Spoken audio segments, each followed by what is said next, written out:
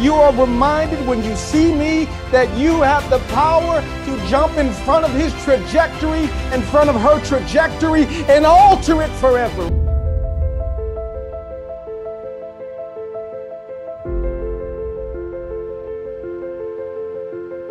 Before I was 16, I lived in 26 places, not including the beaches I slept on, the cars I slept in, the alleys we slept in, the strangers' houses.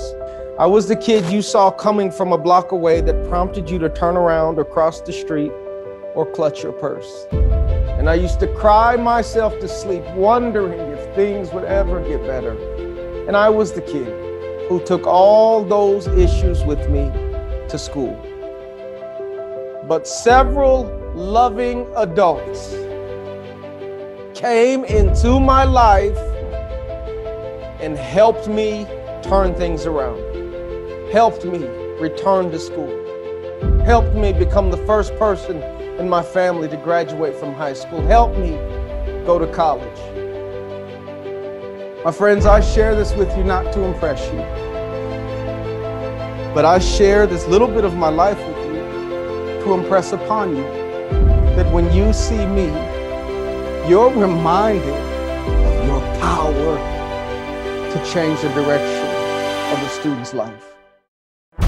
When you see me, you're reminded that no matter what goes on at that kid's house, no matter what trauma or pain that kid has been through, no matter what circumstances he has come out of, when he shows up in your class, when he shows up on your campus, you are reminded when you see me that you have the power to jump in front of his trajectory, in front of her trajectory, and alter it forever when you see me.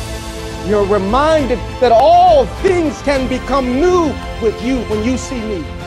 You're reminded that relationships matter. You're reminded that understanding where your students come from matters. When you see me, you're reminded of the importance of getting close with that child, that student, looking him or her in the eyes and saying, I see something special in you. I see something powerful in you. I see greatness in you. When you see me, you're reminded of your power.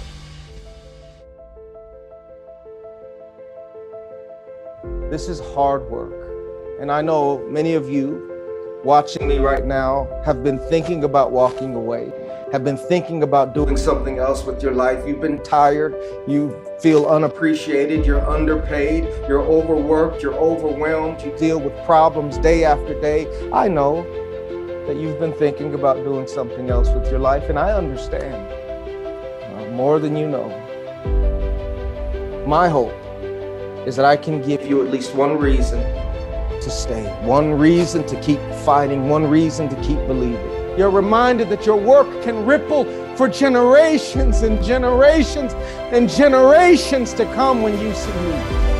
The dash that's going to be on your tombstone one day, the dash that will represent what you did with your life, it shall not be in vain.